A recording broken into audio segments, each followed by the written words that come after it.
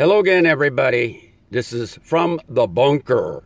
Yes, Rough Riders guy from our West Coast bunker. And today we have a little ode to Bunker Boy, i.e., Donald the Dumpster. Here it goes. Bunker Boy, how many protesters did you attack today?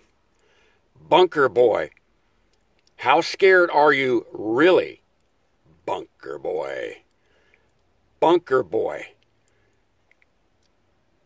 We've gone from Bunker Hill to Bunker Boy. Woo! Bunker Boy, you'll be the new Xmas toy.